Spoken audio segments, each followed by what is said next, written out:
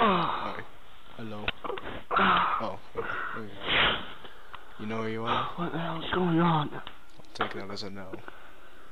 They knocked you out and took you back to their safe house. Not the most desirable place in the world. Might as well get your gun while you're there. This place is messed up.